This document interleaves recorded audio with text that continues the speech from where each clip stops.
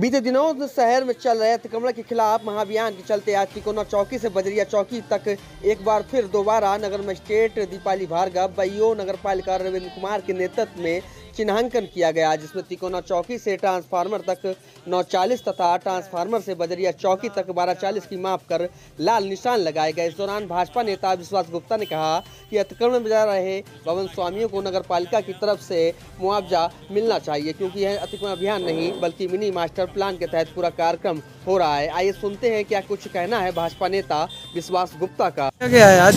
तो कितना क्या रहा है? सिटी मजिस्ट्रेट के द्वारा जो चिन्हांकन किया गया जो जनता की मांग के अनुरूप किया गया और जो यहाँ पर बजरिया मोहल्ले में अधिकांश कमज़ोर वर्ग के लोग हैं हाँ, उनके हितों को ध्यान में रख करके सिटी मजिस्ट्रेट ने सही निर्णय लिया। लोग संतुष्ट हैं? हाँ लोग संतुष्ट आपके द्वारा क्या मांग की गई थी? हमारे द्वारा तो पहले भी मांग की गई थी नगर पालिका को मुआवजा देना चाहिए जिनके मकान टूट रहे हैं जिनकी दुकानें टूट रही हैं ये है। कोई सुनवाई। नगर पालिका अध्यक्षा उस पर कोई ध्यान नहीं दे रही है। कोई सुनवाई नहीं हो रही है। कहाँ सुन रही हैं? ये तो अतिक्रमण अभियान चल रहा है इसमें मुआवजा कहाँ से आ गया? नहीं मुआवजा मिलना चाहिए।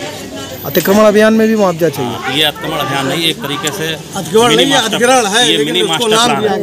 है है? ये मिनी मास्टर प्लान है। हाँ। और अतिक्रमण में ये होता है कि ऊपर की बिल्डिंग नहीं तोड़ी जाती है। इसमें ऊपर तक बिल्डिंगे तोड़ी जा रही हैं। जिला प्रशासन के जो अधिकारी हैं वो कह रहे हैं ये अतिक्रमण अभियान चल रहा है। अतिक्रमण सरकारी ज़मीन खाली कराई जा रही है। तो इसमें मुआवजे की बात कहाँ से आ गई नगर पालिका का नया वो जिला प्रशासन द्वारा हाँ।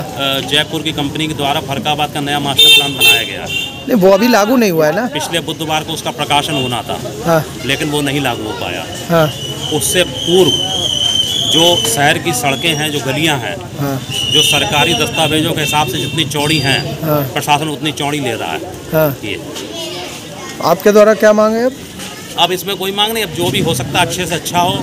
और देखिए एक चीज़ आपको बता दें मैनपुरी आपके सामने उदाहरण है।